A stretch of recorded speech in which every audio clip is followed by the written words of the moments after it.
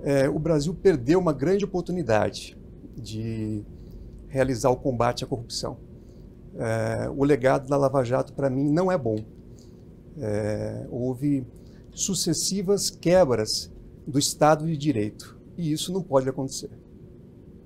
O senhor não entende que, é, mesmo os personagens que tiveram que cumprir pena, é, tiveram, é, o, ou mesmo o simples desmantelamento dos esquemas de corrupção, a forma como as empresas operavam, isso não trouxe algum benefício que talvez tivesse sido difícil de conseguir, dependendo de como as coisas tivessem sido feitas lá atrás?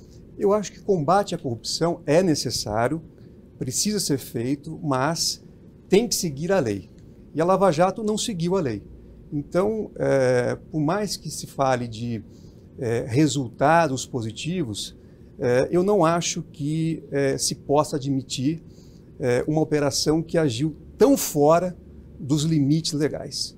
Isso nós vimos ao longo do tempo e depois, na operação spoofing, nas mensagens que acessamos, nós pudemos ver que era um projeto de poder efetivamente. Então, de um lado, havia o abuso é, insistente, permanente, e de outro lado havia um projeto de poder, inclusive buscando eleger candidatos da própria Lava Jato. Hoje nós temos candidatos que eram da Lava Jato e que estão aí agora buscando votos formalmente na política. Já estavam na política, mas agora estão formalmente buscando votos.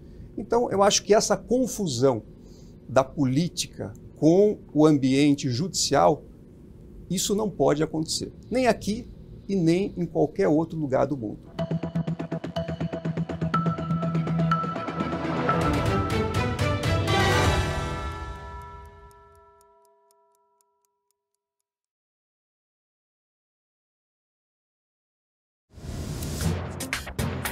No Brasil, notícia tem nome.